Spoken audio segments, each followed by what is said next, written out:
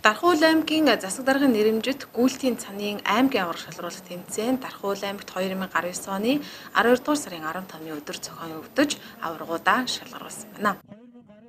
За энэ өвлийн спортыг хөгжүүлэх чиглэлээр бас сүүлийн жилүүдэд бас нэлээдгүй одоо онцгой анхаарч ажиллаж байгаа. Бид бас Дархуул аймгийн Дархан сумын 16 дугаар багийн нутаг дэвсгэрт одоо орчин үеийн стандартаар нийцсэн хоккейн талбайг бол шинээр ашиглалтанд оруулахаар ажиллаж байна.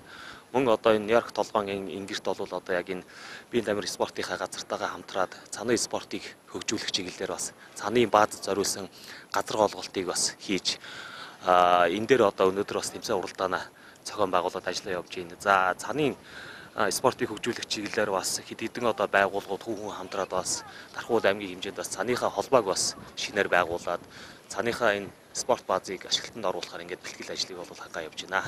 Аврах шалралт тэмцээнд Эрдэнэт хотын тэг 68 а мөн Эрдэнэт хотын өсвөрийн тамирчид за Дархуул аймгийн өсвөрийн тамирчид за Дархуул аймгийн засагчны 330 дугаар анги за Улаанбаатар хотын тэг 65 дугаар ангиас нийлсэн багууд хэлэлцэж байна. Өсвөрийн нийт 50 гаруй тамирчид а насан туршидтын нийт 70 гаруй тамирчид нийт нэг 80-аас 90 тамирчид ерөнхийдөө тэмцээн уралдаа эхлэхэд бэлэн болсон байна. Тэмцээн өсвөр нас, насан туршидтын гэсэн хоёр төрөл нийтдээ 6 насны ангиллаар зохион байгуулагджээ.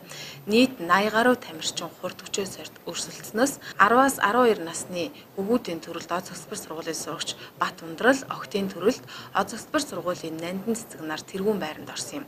13-аас 14 насны эрэгтэй төрөлд оюуны ирээдүйн зөвсбөр сургуулийн сурагч Инх Бэлэг, Октийн төрөлд Эрдэнэт хотын ирээдүйн одод спортын дунд сургуулийн сурагч Халиун нар тэргүүн байранд оржээ. 16-аас 17 17 насны эрэгтэй төрөл Эрдэнэ хотын ирээдүйн одод спортын дунд сургуулийн сурагч Инх сайхан Октийн төрөлд Эрдэнэ хотын ирээдүйн одод спортын дунд сургуулийн сурагч Бат цэцэг нар тэргүүн байранд орсон байна.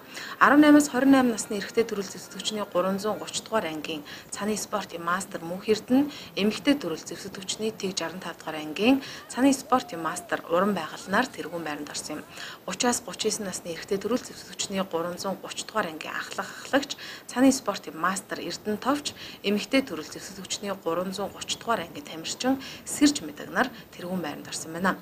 Харин 40-аас 50 насны эрэгтэй төрөл зэвсэгчний 330 дугаар ангийн тамирчин Гамбат эмэгтэй төрөл зэвсэг хүчний 322 дугаар ангийн тамирчин байгалмаанаар тэрүүн байранд тус тус орчээ. Манайх Орхон аймгийн тамирчид өсвөрийн баг тамирчид 12 тамирчин ирсэн. Насан туршид нь 10 тамирчин ирсэн. Тэгээ Орхон аймгийн тамирчид ямар ч Дархан уул аймгийн энэ цааны сайхан бааз нэгдэж хагаад бид бүгд их баяртай байгаа. Тэгээд ер нь цааш цааштай Дархан уул аймгийнхаа баг тамирчтай ер нь бид нэр хамтарч ажиллана. Гэ бүгдээр харандаа ярилцсан байгаа. Аймгийн аврах шалгаруулах тэмцээнийг зохион байгуулахын зэрэгцээ цанын баазын үйл ажиллагааны эхлэлийг тавьж байгааг нээлтийн үгээр аймгийн засаг даргын тамийн газрын дарга инхот онцолж байсан юм а.